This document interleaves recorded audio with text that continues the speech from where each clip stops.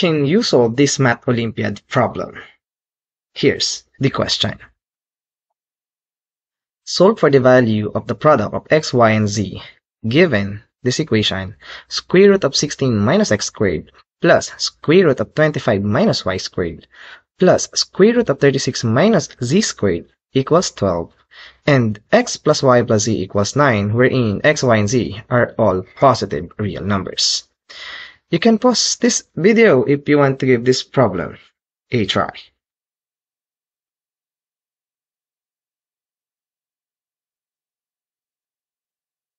And now, let's answer this question together.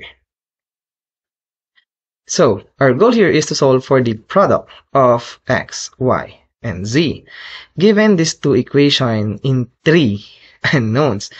And also, it says that x, y, and z are all positive real numbers. And now, how do we answer this kind of question? By the way, our answer to this question is simply equivalent to 648 over 25. Now the question is, how do we get this answer? So here's the solution.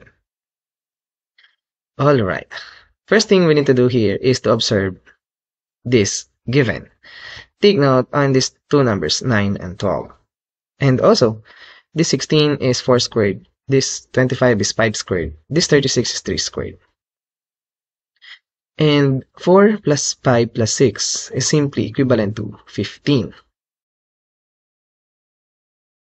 And now take note that 9, 12, and 15 can be the side length of a right triangle like this. So two legs equivalent to 9 and 12 and the hypotenuse must be equal to 15. And now, let's continue. So focus on this equation. The first equation, square root of 4 squared minus x squared plus square root of 5 squared minus y squared plus square root of 6 squared minus z squared equals 12. Now, square root of 4 squared minus x squared. This can be a side of a right triangle also if the hypotenuse is 4 and one leg is x. So if the hypotenuse is 4 and one leg is x, so the other leg measures square root of 4 squared minus x squared. That is exactly this term. Now, if the hypotenuse is 5 and the one leg is y, so we have one leg must be equal to square root of 5 squared minus y squared. That is the second term in this equation. Now, how about if the hypotenuse is 6 and one leg is z? So the other leg must be equal to square root of 6 squared minus z squared. This is look something like this. Now, we have three right triangles. By the way, four right triangles right here. And take note that 4 plus 5 plus 6 equals 15. So, we can put these three right triangles inside this big rectangle like this. Now, take note that x plus y plus z, this equals to 9. So this is the second equation. Now the first equation tells us the sum of square root of 4 squared minus x squared plus square root of 5 squared minus y squared plus the square root of 6 squared minus z squared must be equal to 12. That is also true in this figure. And 4 plus 5 plus 6 must be equal to 15.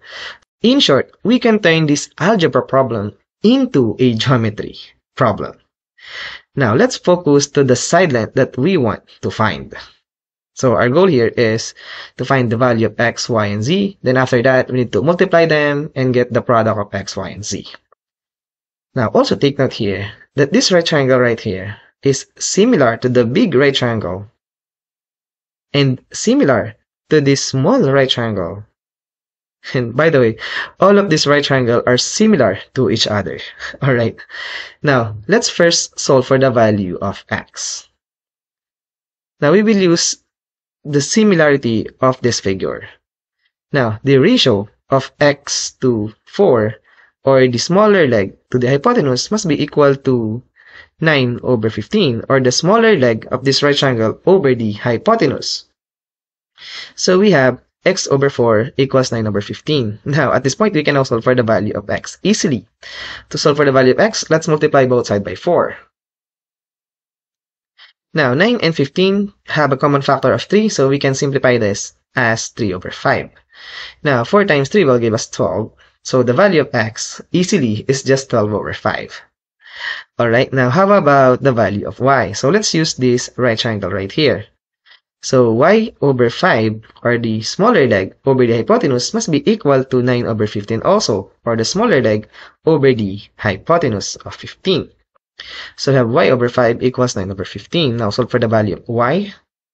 Multiply both sides by 5. So 45 over 15 and 45 over 15 is simply equal to 3.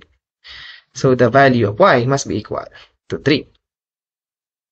Now, how about the value of z?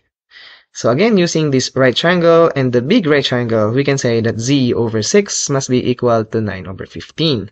To solve for the value of z, let's multiply both sides by 6. Now, let's simplify. 6 times 9 will give us 54. 54 over 15 is just 18 over 5. Now, we have the value of x, which is 12 over 5. We have the value of y, must be 3. And we have the value of z, must be equal to 18 over 5. So, our goal here is to find the product of x, y, and z. So, let's do that. So, I have 12 over 5 times 3 times 18 over 5. Now, multiply all these numbers together and we have 12 times 3 times 18 all over 25. Now, 12 times 3 times 18, this will give us an answer of 648. Therefore, our answer to this Olympiad problem must be equal to 648 all over 25. And as always, we are done.